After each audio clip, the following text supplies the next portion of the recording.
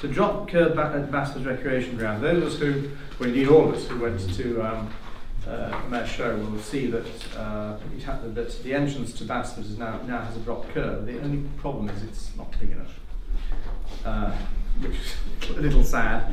I mean, it's a start, but it's not actually big enough. It's not wide enough, and you still have ruts. Um, as soon as you leave the pavement, uh, you, you can get stuck in ruts.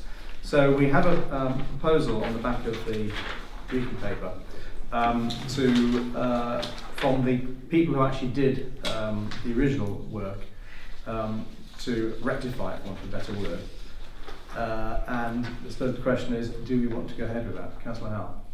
Yeah, I, I, I think there's two points to be raised here. Obviously, firstly, do we have the budget for this? And secondly, when we were at the mayor's show, I think that they've done it too steep anyway because it was bottoming cars out. I think we should get the contractor to come back and look. As they've done the drop curb, it goes up to a high point and at that point where it goes over the grass, it's bottoming cars out.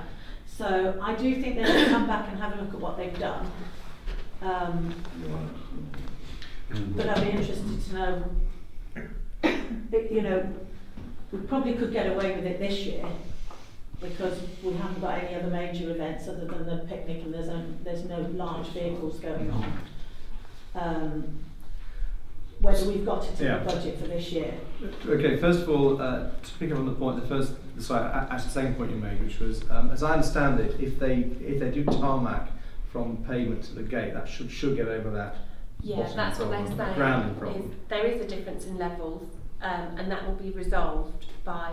So you know, at the moment the drop curb stops at the end of the curb, Yeah. doesn't it? And then when it, where it hits our land, they're saying yes, there is a difference in levels, but you would have to raise up the level of the land, and that's what part of this quote is Oh, about. okay. Yeah. Yeah, to stop that bottoming Uh, out. Okay. Um, so they they're saying they did what was in the original specification of putting in a standard drop curb. If I may come back on that, is that the second quote Yes, to incorporate exactly, that exactly. extension to the gate? Exactly. Okay, thank you. And then uh, your second question was uh, the, uh, was um, the funding. We do have an open space reserve, which we reserved in the 2017-18 account. So yes, we do have the Oh, funding. okay.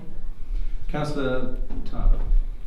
Can we get one of the gardeners maybe to look at the ruts that lead up to the tarmac? Because I think that's part of the problem. you know, if we levelled off that mud where the trucks went out when the ground was wet, the dips they've caused is what was called, if, if it was all one level, they might get onto the tarmac a lot better. So could we look at that first and is it something that our gardeners might look at? So you're, you're suggesting that we just fill in the ruts First, and then see if we actually need, need that next bit. Because it's possible. extension. Because I think that because they laid down low in the ruts, it, as they were going up, you have got this difference in height, but it was because they were low because of the rutting that made them catch. If we could level that off, repair the damage from the trucks on, on the muddy bit, that might resolve it.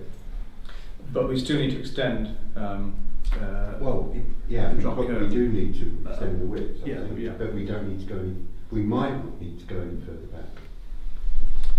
what do people think about that idea? Councillor Howe. Um, I, I, I understand entirely what you're saying. Um, obviously, we had particularly a, a, a a particularly lot of rain. Uh, Mm. say in English. A considerable amount of rain this year, uh, which made the ground very, very wet. Obviously, Mm. uh, and actually, the fairground went on, and then the rain Then came. So it wasn't as if we could stop them going on no, because of the ground. So, uh, and that caused the ruts. If we had the same problem again, we could end up just keep filling it with mud Yeah. all the time. That is the concern that I have, obviously, thinking with my events chairman hat on, making sure that the facility is functional for all the events that we want to put on.